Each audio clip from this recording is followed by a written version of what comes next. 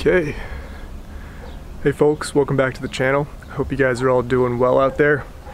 I recently just hit my three year anniversary here at IBM working as a product manager and recently I also finished up uh, being the OIC for Gunnery which was a two week training event um, you know being in the Army Reserve and what I wanted to do today is put together a quick video for you guys kind of talking about uh, the balance between your military career, that being in the Army Reserve for me, and a civilian career, and specifically working in tech uh, for myself. I think it might be similar to other civilian careers, um, and just kind of want to talk about the time balance that it is and working out the differences between the two and kind of the context switching that you have to do.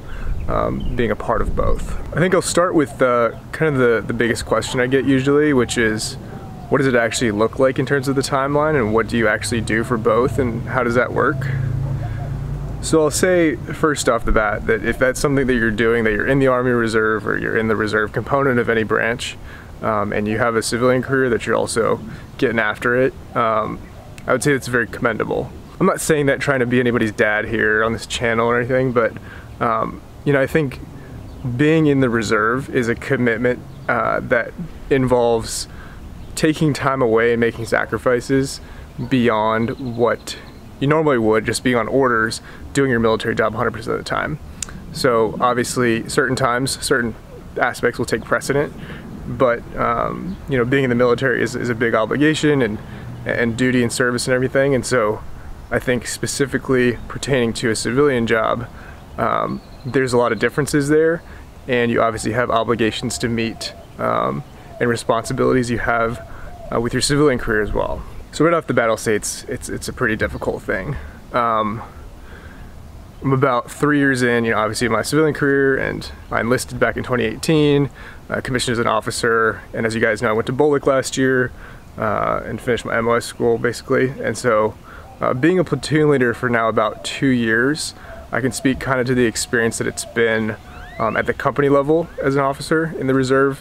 Um, and kind of the, the balance that that is. The reserve component, probably of any branch, as you guys know if you're in the reserve, um, being you know just one week in a month, like whatever your recruiter might tell you, uh, one week in a month and two weeks a year.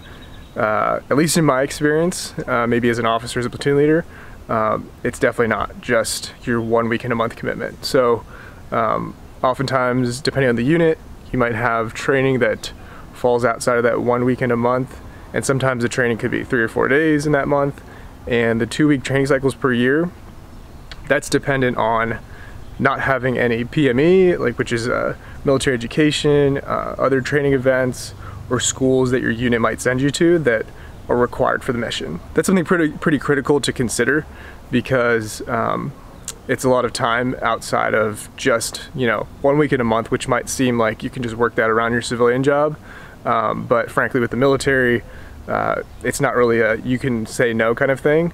Uh, most of the time, it's you know that's a commitment that you've made, and the, the training that you have to attend and uh, whatever it might be is something that's pretty obligatory. So um, I would say that that's one thing to consider and something that uh, I didn't really expect going into it um, as a platoon leader and, and, just you know being an officer in the reserve.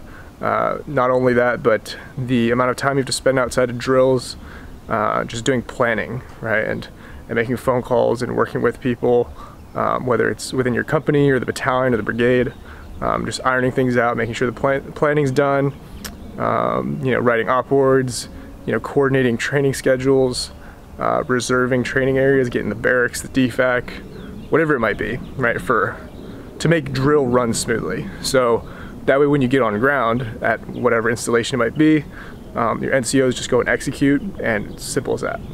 The other thing I'll say is that being in the reserve, um, there's kind of a lack of, there's maybe like a disconnect almost between uh, the your, your, civilian career and your military career and kind of the leadership and your management in both. Um, I, I, would say not a lot of people in my military circles really know what I do on the civilian side or, or understand or appreciate what it is I do on the civilian side.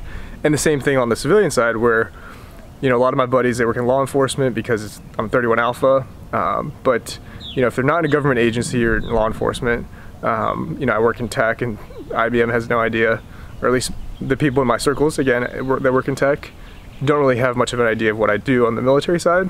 Um, so there's, again, like a lot of context switching between the two, but being a part of both, um, you have to understand that, that most people don't understand what it is that you do on the other side. Um, and you have to be kind of cognizant of that when you're communicating what's going on um, with whether it's commitments on your military career or military training that you have to do, um, or on the civilian side, what uh, time commitment that it is, um, you know, beyond 40 hours a week or whatever have you, um, that you might have to do at work. So this is kind of the big things, right? Uh, the, I would say really just understanding the, the, the time commitment that it is um, with being in the Army Reserve, especially as a reserve officer. Uh, you're responsible for your soldiers and you want to make sure that they're taken care of. So if you have to sacrifice your time outside of normal work hours or what you might be getting paid for, that's something that you signed up for and that you, are kind of obligated to do. Uh, not obligated to do, but that's just, that's your job. So, and you should do your job. Um, I think there's a lot of officers out there, well, I don't want to badmouth anybody, but, um, you know, frankly, there's, there's people that um, aren't exactly qualified to be in their role, whether it's on the civilian side or um, in any walk of life, uh, in the military or otherwise, that, um, that you can see are kind of just bad examples of leadership, um, and you don't want to be that. And everybody knows that, you know, you've got a lot going on, especially if you're, you've got kids, you got a family, um, that's probably another full-time job. Um, and, uh, you know, it's a big time commitment. Like for me personally, so I'll speak specifically to the experience that I've had basically um, you know, being in the Army Reserve, uh, let's say, for example, this, this past two weeks that I was at Gunnery, um, I'll show some clips here kind of, of, of, some of the training. I didn't record a whole lot because of OPSEC and everything, but uh, you know, basically we qualified our gun crews on the 50 cal, the Mark 19, 240 Bravo, uh, crew serve weapon systems. Those are kind of the weapons capabilities that we have. Um, and we did it at a brigade run event. Um, so you can imagine how that went. A lot of sergeant majors calling me, telling me I need to do stuff that are not in my chain of command. But um, you know, it was good training. I think it was a great opportunity for some of our guys, uh, especially my guys that have never shot the 50 cal before or the Mark 19. And it's obviously pretty cool weapon system to get a you know accustomed to and get that familiarization at least. Um, but they all qualified. I'm um, pretty happy for them. And uh, overall, you know, it was a good experience. But again, the context switching. So you really have to take 100% of your time and energy and switch that and focus just on gunnery for two weeks, right? You can't think about like the product you're working on at work, whatever issues might be going on. Um, they're just gonna have to figure it out without you for two weeks and, and make it work. Um, you know, on the civilian side, I would say it's not even just between my military career and my civilian career just being working in tech. You could also say I'm a property manager. I've got these two properties that I'm working on. Uh, like I'm a realtor here in Texas, which frankly, I had a few investor clients, but you just can't keep up with that uh, traveling as much as I do.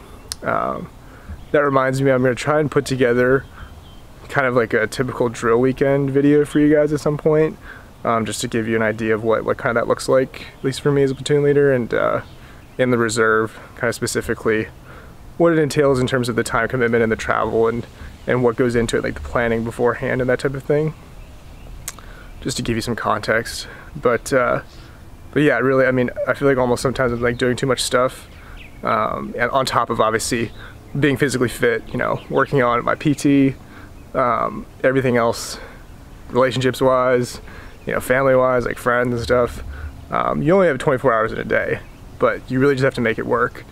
And personally, I feel like um, uh, I'm, the, I'm the type of person that, that really likes to be doing something all the time. And so if I'm ever just like sitting on my ass, like doing nothing, I just feel like it's such a waste, you know? So it's not a problem for me to be doing all these things and basically having like three full-time jobs, that being my military stuff, uh, that honestly takes a lot of time sometimes, uh, my, you know, product manager work at IBM, and then being, you know, a realtor or doing real estate kind of stuff um, you just kind of have to make it work. And you get really good at scheduling things and working out your calendar and every hour, every day, like what you're doing. Um, you get very productive, but uh, you know, it's not for everybody. I'll definitely say that. Um, in terms of the time commitment, it's, it's a lot. Um, but yeah, that's, that's, that pretty much sums up what the you know, what it is that you actually do kind of thing. There's probably some things I'm missing out that I'm leaving out, but um, might try to include that in like a part two or something. There's a lot to talk about with the kind of balancing of the careers. The, the second piece of this is, you know, is it worth it, right? And that is obviously very subjective and like from my opinion, do I think it's worth it what I'm doing, you know, juggling these three careers and, uh, you know, if you want to call it that, and, uh, you know, being in the Army Reserve and that type of thing. Um, you know, I'll say there, there's definitely days that I find it extremely difficult and I wish I had just gone active duty and just been a infantry officer or whatever it might be and uh, you know just gone that route done it for four years or done it for eight years whatever it might be and then get out and do something else on the civilian side um, or just gone full-time you know working in as a product manager or just being a realtor and focusing on that. Um, and while that's that's nice I think there is some fulfillment to be had with being able to make like that big of an impact across the board in these different areas. Like I said, it's not for everybody, but I think that um, in the best interest of, you know, life is short and I want to do as much as I can and, and really see what there is to see and experience things. And so I think it's been a, a pretty valuable experience getting the leadership experience and working with my soldiers and you know leadership and otherwise in the Army Reserve. Um, you know the pressure that you get as an officer, as a platoon leader, and just having multiple careers going on, I think is is almost a good thing sometimes. It forces you to be productive, and and it just use your brain and you know think more than you might have to um, about certain things, and whether or not it's uh, you know worth the priority or how to prioritize certain things um, in, in, in, your career. So that's kind of my two cents on that. I, I would say it's worth it. I, I, definitely think it's worth it uh, so far. Uh, the grass is always greener, right? But I would never know what it is, what it's like being in the military if I had just gone with my civilian career, and I would never know what it's like working as a product manager right now if I had just gone active duty, right? And life is life is long, life is short, whatever. Um, there's plenty of time to kind of explore um, other things later on um, once my contract is up or if I decide to go to law school or get my MBA or do something else. The last thing I'll probably touch on is like what does the outlook look like for me and kind of what do I expect to do in the future. Um, and that's kind of a tough question obviously because it changes um, day to day but uh, you know the last few months I've been extremely busy and honestly haven't had really the time to like put together videos uh, but you know it's kind of not too bad to just talk to you guys and this well I'm talking to a camera right now but uh, it's kind of format and just one take it. But uh, yeah, looking ahead, um, I've actually been interviewing um, the past month or two. Um, so I might be switching, I guess, jobs on the civilian side. Still going to be a product manager, but uh, you know, depending on the company, um, IBM gives me the flexibility to work fully remotely.